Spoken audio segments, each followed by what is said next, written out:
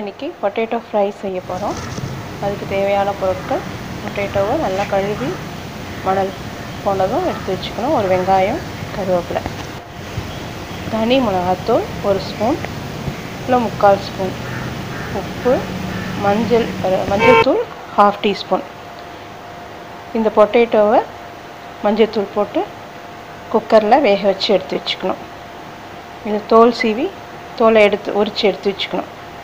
இதில் கொஞ்சம் ரெண்டு ஸ்பூன் எண்ணெய் தண்ணி வேண்டாம் எண்ணெய் தான் ஆட் பண்ணணும். இந்த மிளகாத்தூள் மஞ்சத்தூள் உப்பு போட்டு கலந்து வச்சுக்கணும்.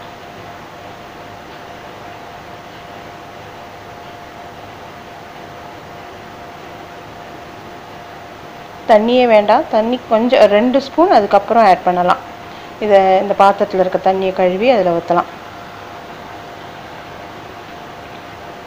எண்ணெய் பாத்திரத்தை அடுப்பில் வச்சுட்டு எண்ணெய் ஊற்றி நம்ம கட் பண்ணி வச்சுக்கிற வெங்காயம். வெங்காயம் வந்து மசாலா நிறைய வேணும்னா நிறைய வெங்காயம் போட்டுக்கலாம். இல்லை கம்மியாக வேணாம் அப்படின்னா கொஞ்சம் ஒரு ஒரு வெங்காயம் போதும். கருவேப்பிலை போட்டு நல்லா வதக்கிக்கணும்.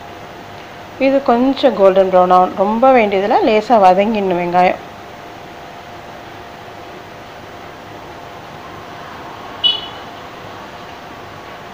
வெங்காயம் வதங்கினதும் நம்ம பொட்டேட்டோ மசாலா கலந்து வச்சுருக்கதை எடுத்து அதோட சேர்த்து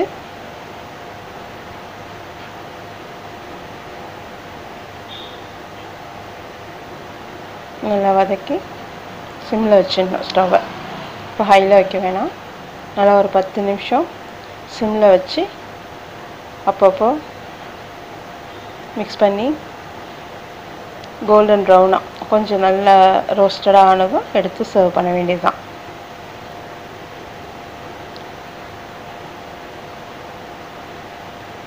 ரொம்ப சிம்பிளான ஈஸியான பொட்டேட்டோ ஃப்ரை ரெடி அந்த கழுவுன தண்ணி அந்த பாத்திரத்தில் இருந்த மிளகா மசாலா இருந்தது அதில் ஒரு ஒரு ஸ்பூன் ரெண்டு ஸ்பூன் தண்ணி தான் ரொம்ப தண்ணி வேண்டாம்.